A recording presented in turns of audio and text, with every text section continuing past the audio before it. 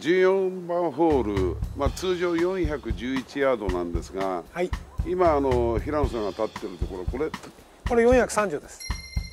これは特設ではなくて、えー、今度の試合のためにお願いして作っていただいたティーラン。新しいティーそうです、はい、新しいティーラン。攻め方は？攻め方としましたらあの411ヤードのところではおそらくあの選手がみんなスプーンで打つと思うんですね今まであったあったティーですと。でもここですとこのグリーンの形状が非常に難しいんでグリーンをキャッチしたい。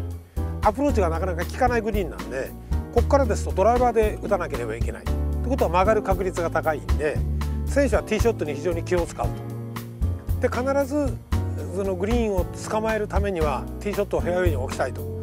いうつもりで今度はここはティーグラウンドを作っていただいた。そうするとまあ大体もう20ヤードあるかないか動かすだけでもう攻め方が全然変わる。あのセカンドの番手が2番手から3番手違いますんでこれはもう攻め方全然違います。なるほどね、はい、まあここも本当にセカンドティーショットセカンドと本当にナイスショット。そうですね。この今年ののその日本プロはこの13番が終わったらこの14番からはいかにパーを取っていきながらたまたま来たチャンス。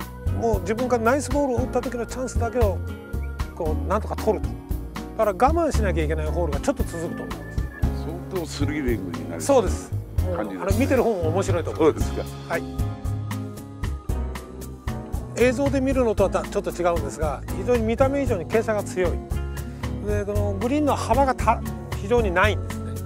ですからこのグリーンに乗せるのは結構難しいんですがまあ選手はこれプレーヤーは手前からまあ攻めましょうとただ両サイドによに外れてしまうと傾斜が強い分非常にアプローチが効かない。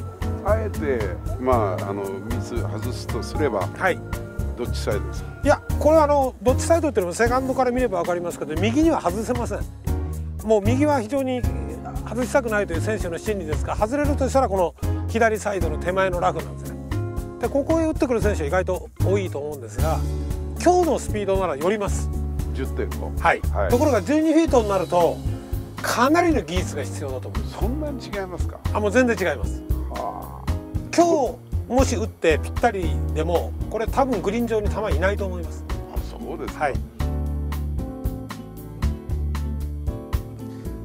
今日のスピードですとこれ1メーター半ぐらい左打てば寄るんですね。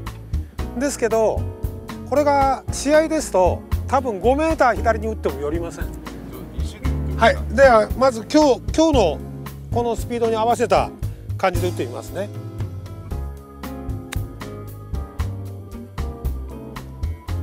あれでちょうどこう寄っていく感じですね。ところがこれが試合の12フィートになりますと今あのラインだったのがこっちに向かないと寄っていかないです。ここへ打ってちょうど寄っていくぐらいです。はい。